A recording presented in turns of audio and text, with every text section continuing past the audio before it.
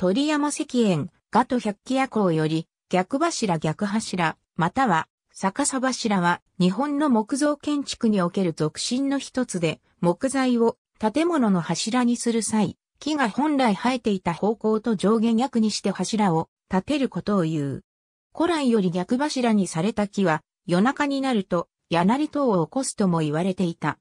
また、家運を追尾させるほか、火災などの災いや不吉な出来事を引き起こすと言われており、意味嫌われていた。妖怪漫画家、水木しげるによれば、逆さにされた柱からは、木の葉の妖怪が出現する、もしくは柱自体が妖怪と化すとも言う。伊原西角の著書、西角折止めによれば、京都六角堂の前のとある家に住む夫婦が、この逆柱の怪異に悩まされており、家では毎晩のように梁が崩れるような音が響くので、ついには引っ越していったという。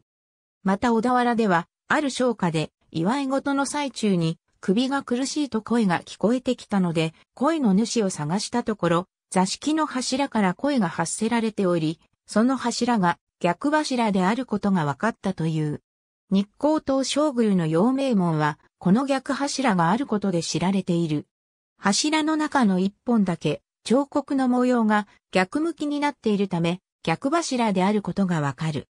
しかしこれは誤って逆向きにしたわけではなく、建物は完成と同時に崩壊が始まるという伝承を逆手に取り、わざと柱を未完成の状態にすることで災いを避けるという、いわば魔除けのために逆柱にしたとされている。また、妖怪伝承の逆柱とは全く異なるものである。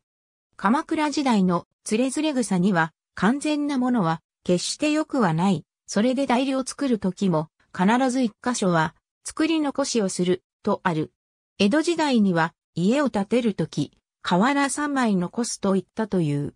ありがとうございます。